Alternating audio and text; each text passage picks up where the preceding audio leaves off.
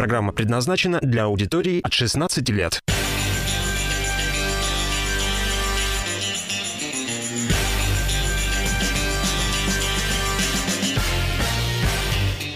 Одиннадцать ноль пять в Кирове начинается программа «Дневной разворот». Сегодня среда, и это рубрика «Урбан».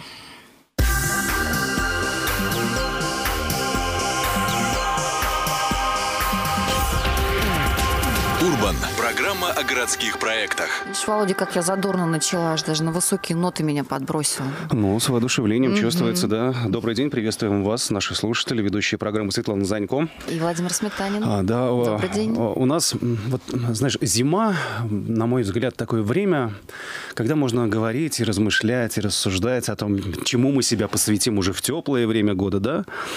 А, Некоторые себя уже посвящают и в зимнее время года, я тебе скажу. У меня так ноги замерзли на прошлой неделе, когда мы с Симаковым скверы, скверы Мгм. вытаптывали, да. да, я забыл у вас, да, практическая плоскость. Да, же, но мы готовим 30 наших РФ. слушателей, да, слушателей уже к весеннему периоду. А сегодня так и вообще. Ну что, давайте представлять нашу тему первую, да? А сколько она уже в информационном пространстве Я думаю, звучит? что э, она с прошлого лета. С прошлого лета. лета активно мы стали об этом говорить, наверное, где-то с начала осени. Но сейчас мы нашего гостя спросим, он тогда, э, можно сказать, у истоков стоял. Константин Кропанев у нас в гостях, член рабочей группы по экологии при администрации города Кирова, исполнительный директор компании «Ажио Финанс». Константин, добрый день. А, добрый день. Ну что, давайте вспомним. Нет, вот изначально вообще тема, а, тема рек, малых рек областного центра, она м, много, много лет ведь уже она поднимается. Каждый Что с год. ними делать? Было небольшое затишье несколько лет. Ты помнишь, когда, да, вот Григорий Поскребышев, который там хранители вятки, Ну, с хранителей воды, с Любченко, хранителей вятки, да. хранители воды, в какое-то время как-то он отпустил эту тему, и она затихла. Но потом она, а- она, она ведь никого, конечно, не оставляет, потому что она, вот они текут, эти реки по нашему городу. Мы живем по берегам этих рек, собственно говоря. Ну, я правильно понимаю, да, что какие-то вот разрозненные такие э, точечные Да. силы этим занимались и говорили, что вот эти реки наши малые, они захламлены, загажены, давайте выйдем, приберем. Акции проводились, этот телесюжет там в том числе выходили. Ну, как-то вот прибрались и все, и заканчивается. А системной раз, работы раз, раз, в- раз, раз, э, два, два за год, на мой взгляд, да, какие-то такие акции проводились. Было такое, да. А, Ну, я думаю, что да, такая проблема-то, она лежит, в принципе, на виду. То есть все, ну, по крайней мере, то старшее поколение, которое уже живет давно в Кирове, они все же знают, что в Кирове есть две такие, так скажем, основные малые реки. Это ре- река Хлыновка и река Люльчинка. И притом река Люльчинка, она практически протекает через весь наш город, практически через, ну, через центр современного города. И протяженность реки больше 20 километров в пределах города. Единственное, что действительно раньше к этой проблеме-то подходили как-то так, э, ну, довольно-таки узко. То есть действительно там время от, э, время от времени организовывались какие-то небольшие субботники по уборке территории, э, по, по уборке некоторых свалок.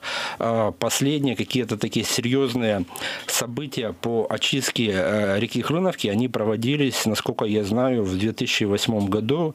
То есть это прошло, ну, 2007-2008 год, это прошло практически 10 лет. Это была какая-то городская, Нет, это я не была, помню, это, была, это была федеральная программа по очистке русла рек, э, ну, в первую очередь, реки Хлыновки, то есть она проводила как бы, была это порядка 10 лет назад, то есть в 2007-2008 году. Но с той поры э, ситуация, вот я не знаю, я в этом году довольно много э, ходил по, по рекам, смотрел, мне кажется, ситуация гораздо, так скажем, ухудшилась. В первую очередь, что очень сильно напрягает, это то, что река мельчает. То есть у- вода куда-то Которую уходит. ты имеешь Сейчас мы в виду? про Хлыновку Ну говорим. да, я, я Про Хлыновку. говорю в первую очередь про Хлыновку, потому что э, Лючинку уже многие, к сожалению, горожане вообще не воспринимают рекой. То есть это, то есть, э, особенно Многие горожане не знают, где она да, находится. то есть в том-то и дело, что ее просто не воспринимают рекой, то есть воспринимают какой-то некой сточной поля, э, сточно, сточной канава, канавой. А если спросить молодежь, там, ну не знаю, там э, младше 30 лет, так мне кажется, мало кто, так скажем, ответит на вопрос, где такая реч- речка те- течет. Хотя еще какое-то некое время назад, там 20-30 лет, люди купались, купались и в Хлыновке, купались и в Люльчинке, то есть и это были действительно такие ну, полно, полноценные реки. То есть полноценные реки, получается, что за последние 20, ну, 30 лет мы их ну, практически убили. И мне кажется, что сейчас как раз вот если мы сейчас не заботимся этой проблемой, то в ближайшие э, там 10 лет может быть наступит такой переломный момент, когда мы просто потеряем эти реки. То есть, условно говоря, там ну, уже будет, так, пройдем точку невозврата и восстановить их каким-то образом, спасти их просто будет невозможно. То есть, если, ну, конечно, то есть, если когда э, начинают обсуждать какие-то городские проблемы, в первую очередь вспоминают эти же, допустим, дороги, но дорогу в конце концов можно отремонтировать или восстановить, или построить заново. Реку заново мы сделать не можем. И, соответственно, если мы не начнем, по крайней мере, эту проблему поднимать, либо озвучивать, то я боюсь, что уже там через какое-то время будет просто поздно. Это то, с чего мы начали в прошлом году прошлом году, потому Удочку что мы закинули. начали да? поднимать, начали озвучивать здесь, в этой студии, в программе «Урбан», потом еще раз э, на, на площадке опорного вуза, потом в Министерстве экологии. И надо сказать, что Алла Викторовна Албегова, министр э, э, исполняющая, исполняющая обязанности, министра экологии и природопользования. Да, да, да, министра экологии и природопользования, она очень быстро отреагировала на это и рассказывала, что э, сразу же там э, подкидывала идеи, рассказывала о том, что вот есть некие федеральные программы, они, правда, не всеобъемлющие такие, не то, что сейчас на нас свалилось по благоустройству, но где-то можно почистить части рек, еще что-то. Но суть-то в том, что Министерство экологии э, идеи подкидывала, а городская администрация, в общем, не находила сил на то, чтобы эти идеи воспринимать и развивать. Да, Светлана, проблема еще заключается в том, что по большому счету вот у тех городских рек у них нет какого-то единого хозяина. То есть получается, что есть э, городская администрация, но городская администрация несет ответственность только за берега, за прилегающие берега, как бы и за обустройство. Это и полоска сколько-то метров, ну, 15, да? 15 метров, 15 метров от русла.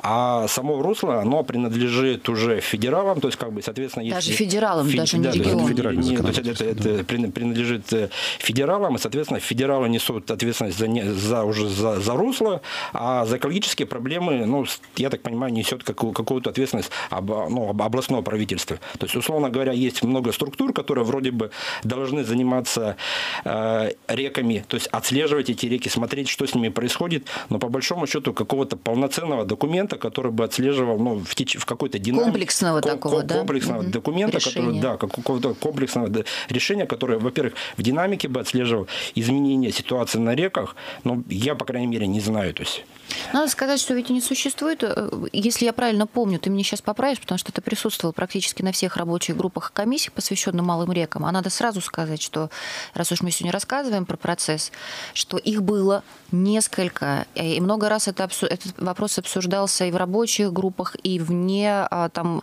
э, официальных э, собраний, и на общественной палате, и в министерстве. И э, там приходили все ответственные, там представители всех ответственных органов, и тоже говорили то, что нужно вести наблюдение, это, это очень важно э, делать в системе но э, эта система была разрушена, чего ж тут говорить, там сразу, да, после распада Советского Союза постепенно-постепенно все умирало, и собирать это сейчас очень сложно. И какой-то единой федеральной программы, например, такой там законодательной программы, чтобы как это должно происходить, а тоже нет.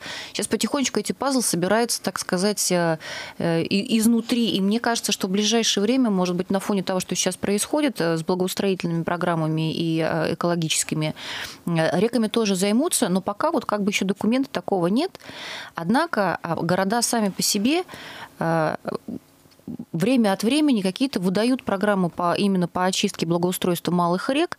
И вот о, нас, вы можете зайти, кстати говоря, в группу, которую Константин Кропанев создал на Фейсбуке. Она называется «Хлыновка и Люченко». И вот а, там, где Константин он старается э, выкладывать все, что находит в интернете, все, что находит в, в паблике о, о проектах, которые существовали или существуют по, по очистке малых рек.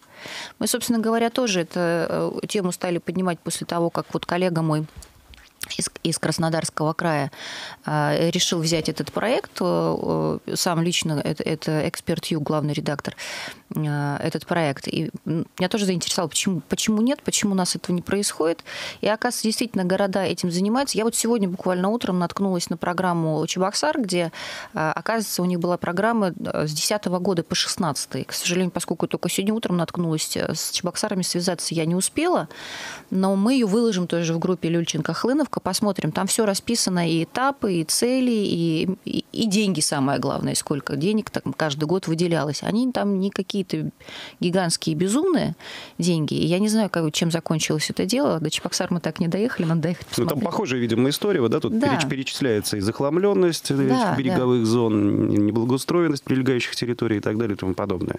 Ну, вот Ну. мы сейчас перед тем, как мы, мы разберем это поподробнее, перед тем, как уйти на перерыв, давай все-таки скажем, что в итоге не просто поднимался вопрос, не просто он будировался, не просто подключались активисты, а, чиновники, специалисты, но, вот, но мы имеем некий итог. 8 февраля 2017 года на сайте правительства Кировской области а, был размещен пресс-релиз. В Кирове могут появиться ленточные парки. И я позволю себе его процитировать частично. По поручению в Рио губернатора Кировской области Игоря Васильева, это важно, потому что Игорь Владимирович, кстати говоря, он еще осенью озвучивал этот э, термин и, и говорил о малых реках. В областном министерстве охраны окружающей среды проведено рабочее совещание по вопросу создания ленточных парков. Под ленточными парками понимаются парковые зоны вдоль берегов рек. Мы с тобой были на рабочей группе, да, Кость? Да, я очень рад. Э, Я даже ну, первоначально не, сам не верил, что так быстро правительство каким-то образом обратит внимание на эту проблему. То есть и то, что хотя бы есть какие-то подвижки, это, это, это очень радует, потому что это дело не одного года. То есть это дело действительно нужна какая-то программа, которая будет э, рассчитана на 5, может быть, действительно даже 10 лет. И тут, может быть, глупо говорить про экологию, потому что если там начинать э, перечислять все те проблемы чисто экологические, которые присутствуют в Хлуновке и в Люльчинке, то есть для большинства горожан это будет, ну, как бы, по большому счету, ни о чем. А если эту проблему решать комплексно, в том числе с благоустройством прилегающих территорий, и самое главное, с качественным использованием этих территорий, ну, в том числе под эти же ленточные парки, тогда действительно горожане сами увидят, что в тех местах, где сейчас пустырь, болото, то есть можно сделать какие-то, ну, такие хорошие, хорошие зоны отдыха. Продолжим разговор об этом. А, Малые реки Кирова останутся неблагоустроенными или превратятся в облагороженные зоны отдыха. Мы поставили такой вопрос, такое ощущение, что в этом году есть большой шанс знак вопроса снять. Программа предназначена для аудитории от 16 лет.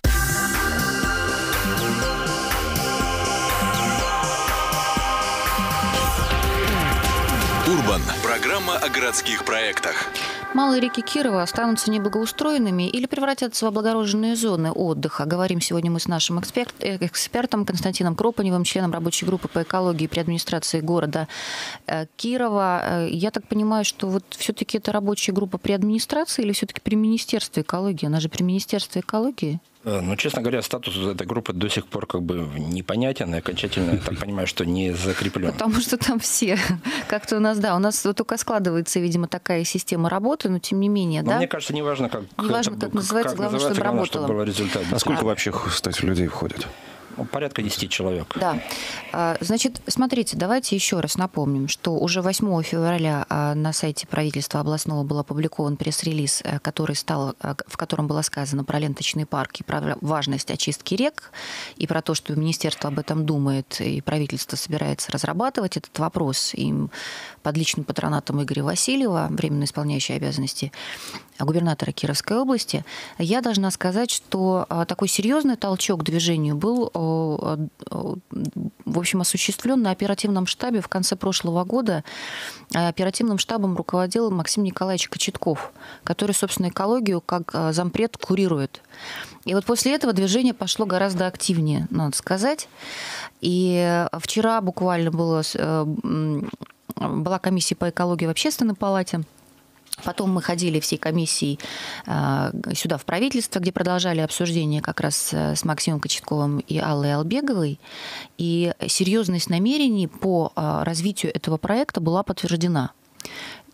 Я просто хочу на этом акцентировать внимание, потому что ну, это не просто разговоры уже, да, это не только наши фантазии, хотелки какие-то, намерения подтверждены. И в, на рабочей группе, где мы присутствовали, были обозначены сроки и были обозначены блоки, которые вот на начало этого года нужно осуществить. А работу нужно осуществить очень серьезную.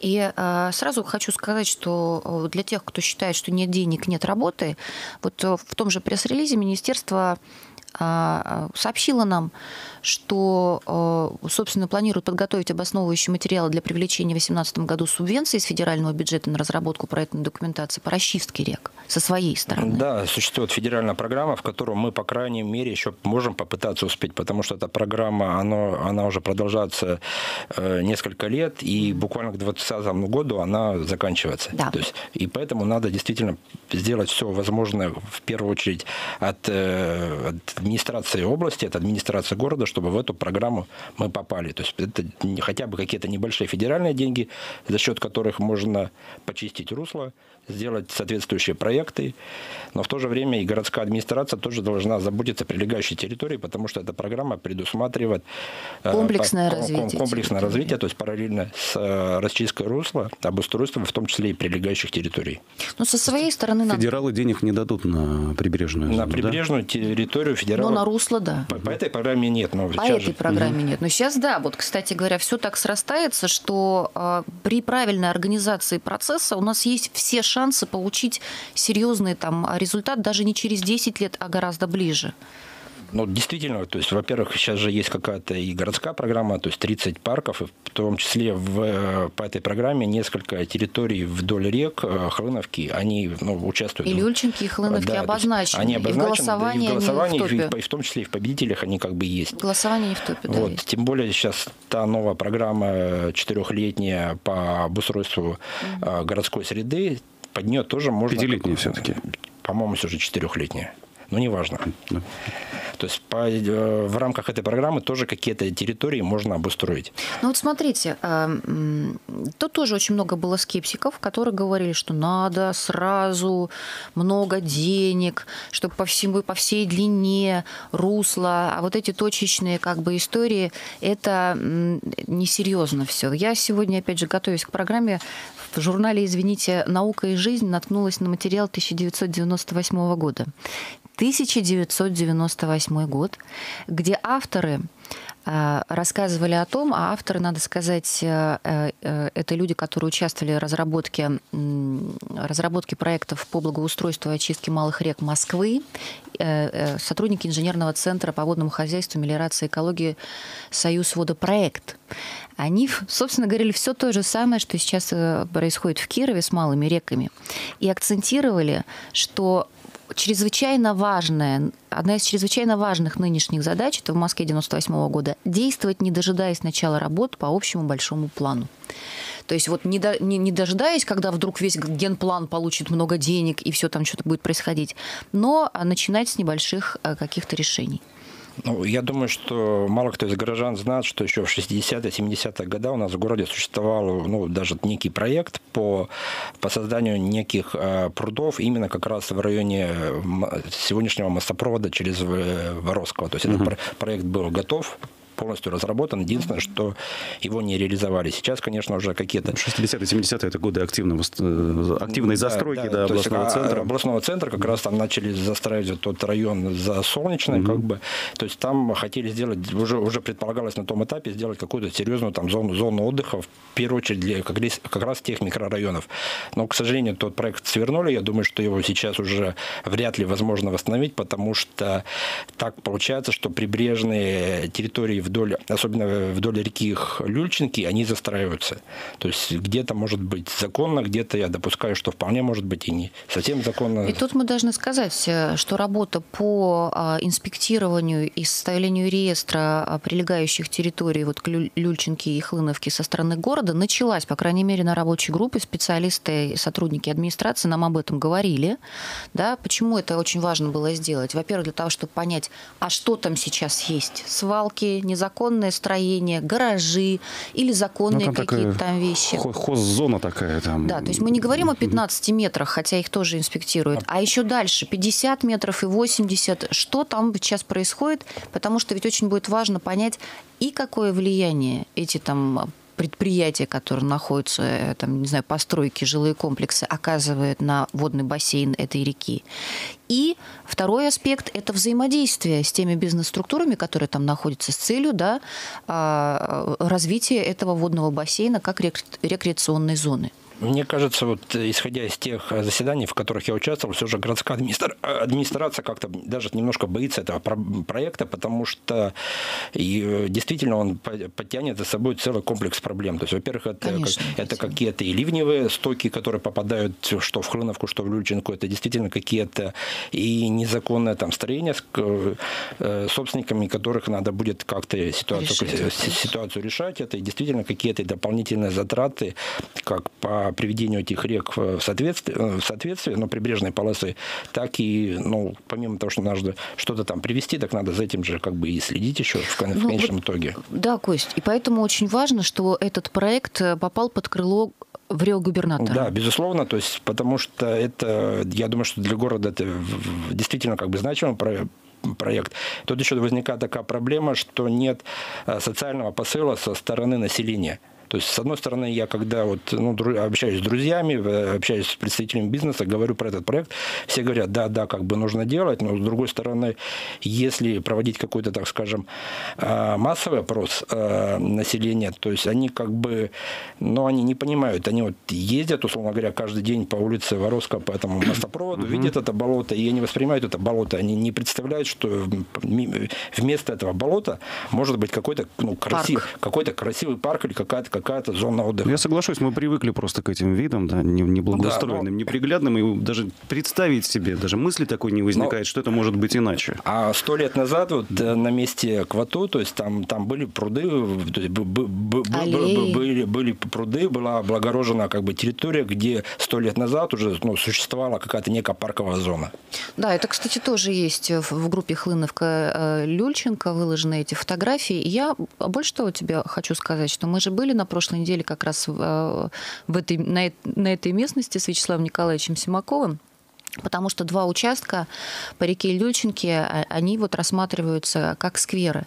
И это большая проблема.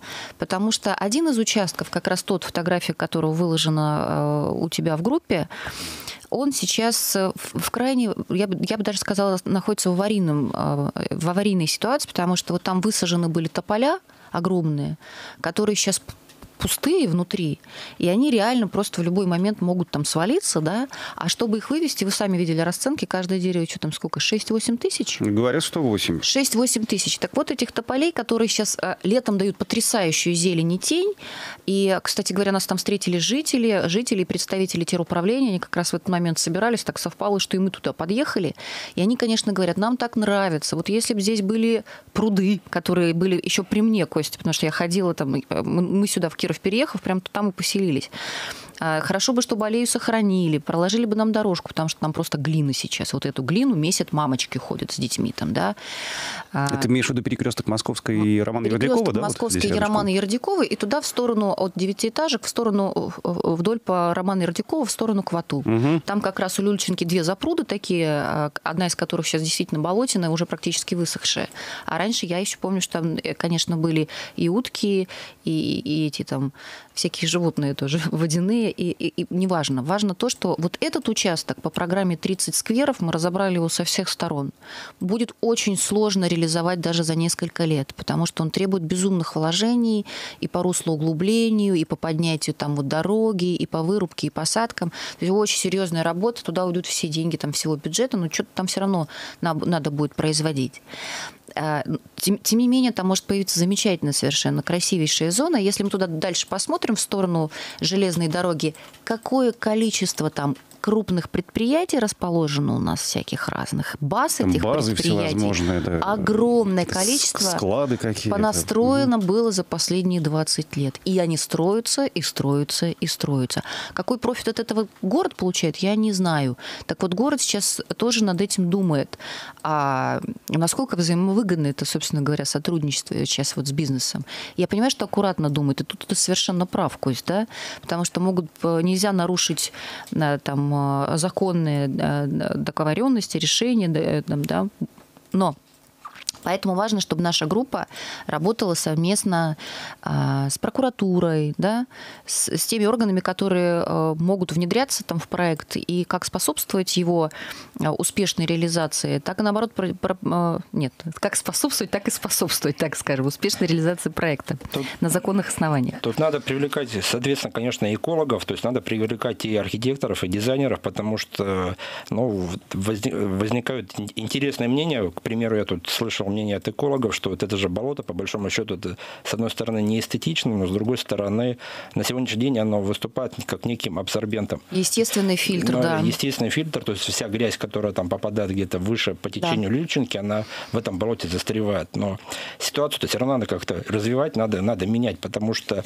все же эти же городские реки, это же, ну, действительно, это же какое-то украшение, украшение, во-первых, города, если их на самом деле привести в, ну, в соответствующее, это как как бы э, очень такой, мне кажется, возможность для реализации каких-то интересных проектов со стороны вот э, дизайнеров либо архитекторов, потому что это, это, это естественно водная среда, которая, которая может украсить люб, любой проект, любой, любой город, то есть она даст изюминку как бы э, ну, той, той э, городской среде, в которой мы сейчас живем. Мы прервемся сейчас буквально на две минуты. 211-101 номер телефона прямого эфира. Э, высказывайтесь, пожалуйста, что вы думаете по этому поводу. У нас еще будет 13 минут для того, чтобы поговорить с вами, слушатели. Программа предназначена для аудитории от 16 лет.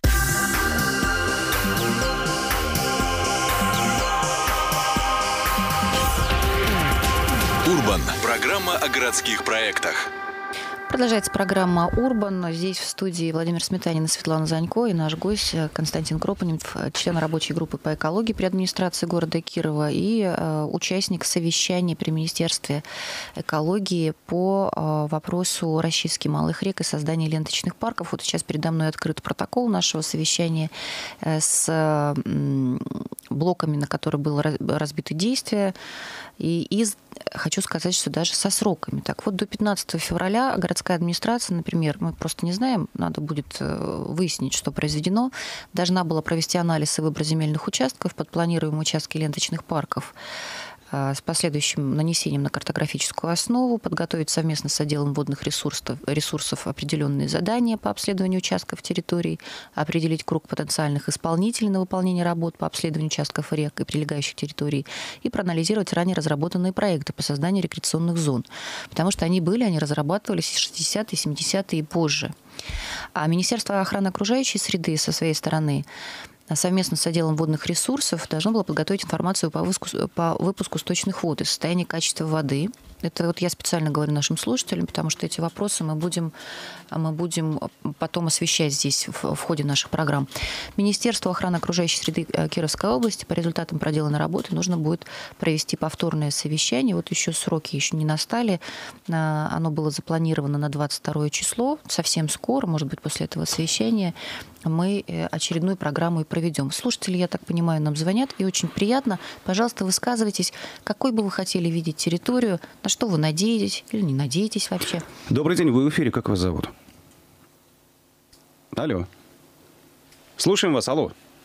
Нет, слушатели. 211 101. Попытайтесь нас еще набрать. Да, набирайте, да. пожалуйста. Со связью у нас должно быть все в порядке. Ага, набирайте, пожалуйста, 211 101. А, Свет, давайте, может, попробуем пояснить все же, по крайней мере, что мы понимаем под, под ленточными парками, потому что я думаю, что... Каждого, мы это общественные ну, Я не знаю, активисты. хотя бы я, да. Света, там, вы, Владимир, mm. то есть...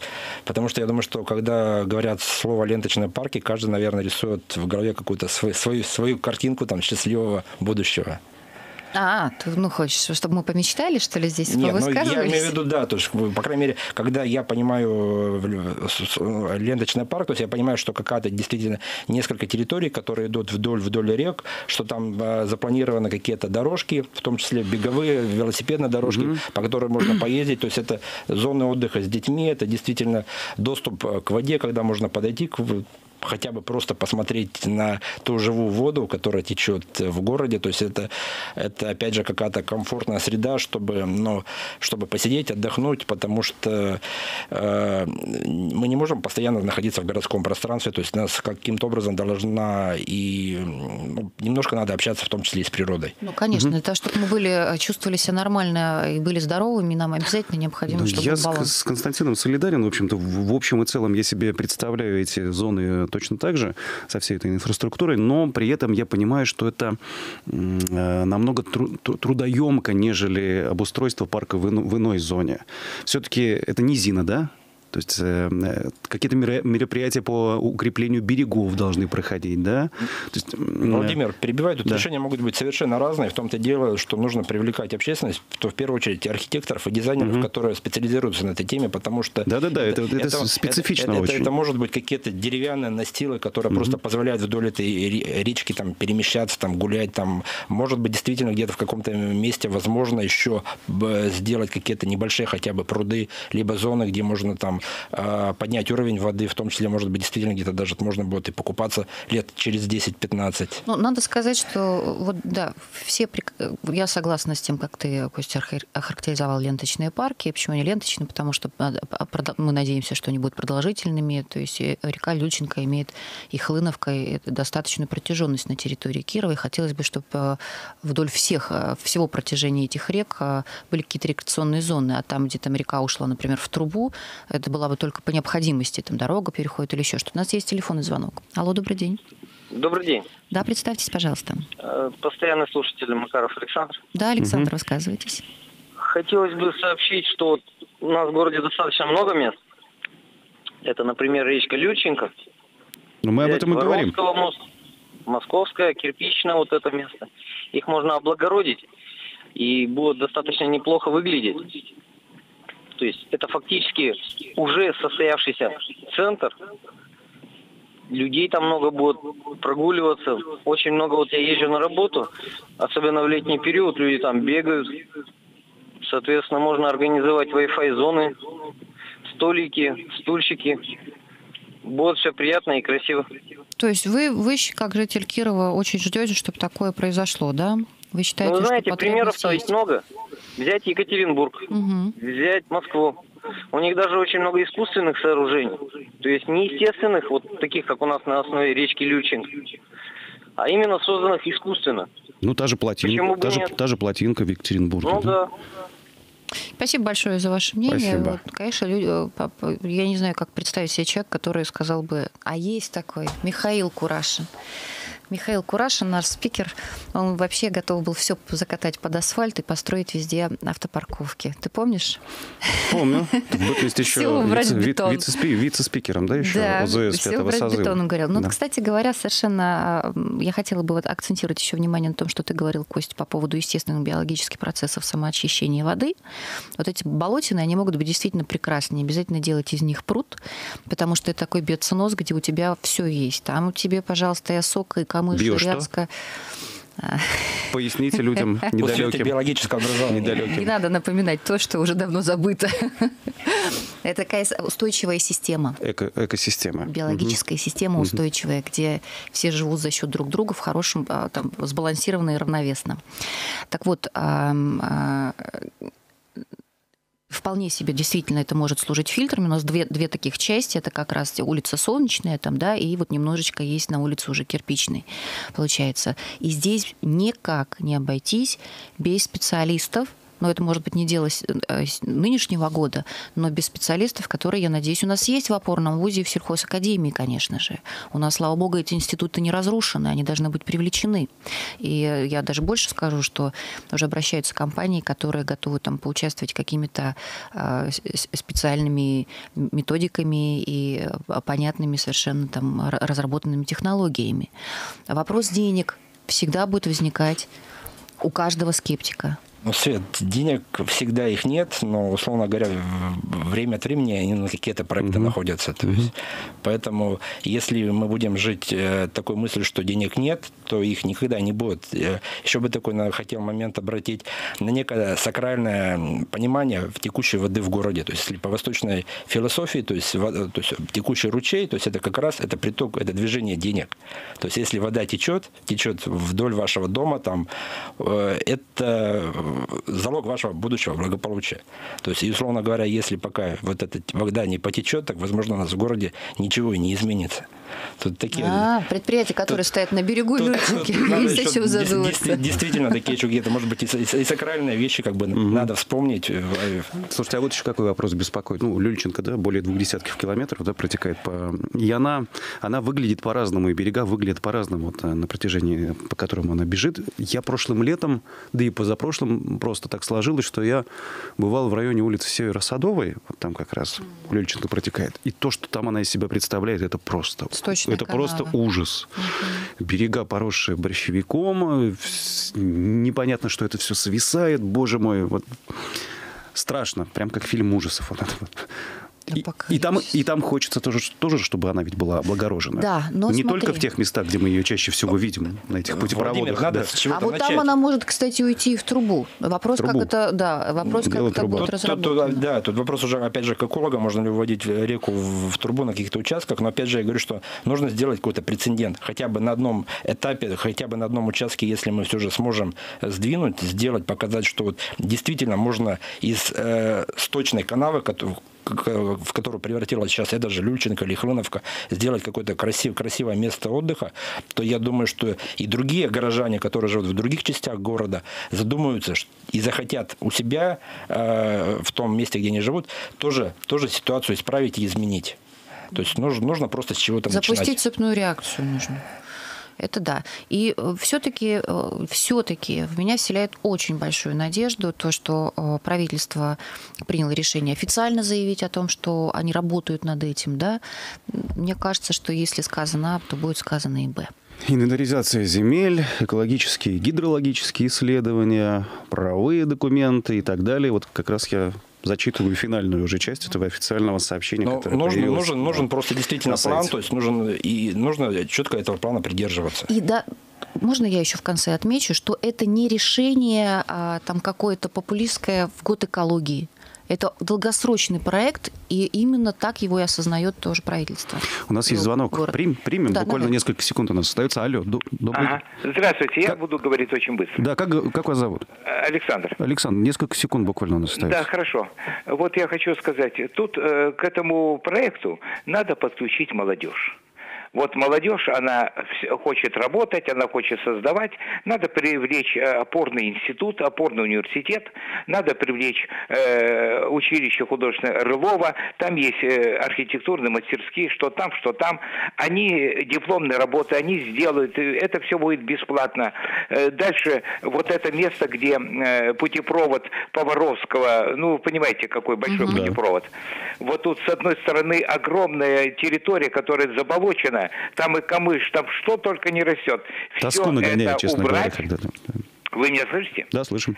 все это убрать, берега сделать, э, песок туда нанести. Это будет роскошный э, пруд городской, где будут люди отдыхать и так далее, так далее. На молодежь, только на молодежь. А если будет субботник объявлен, вы пойдете? И пойду. На реку? Пойдете. Если это будет городской субботник, и когда будут подготовлены уже участки, где это что делается, все это продумано, э, любой из нас пойдет. Понятно, спасибо. Спасибо. Вот на этой Пожалуйста. ноте мы Спасибо за это воодушевление. Да, завершаем первую часть сегодняшнего Урбана. А во втором части мы ожидаем а, Марата Френкеля, председателя комиссии по вопросам экологии и природопользования общественной палаты, профессора, академика РАН, и Николая Липатникова, президента Вятской торгово-промышленной палаты. Константину Кропаневу говорим спасибо. Спасибо. Спасибо вам. Через До 20 свидания. минут в этой студии.